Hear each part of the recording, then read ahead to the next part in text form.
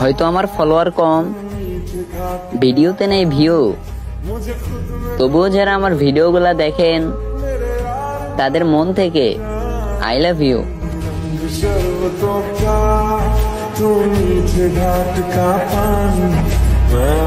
शरबतों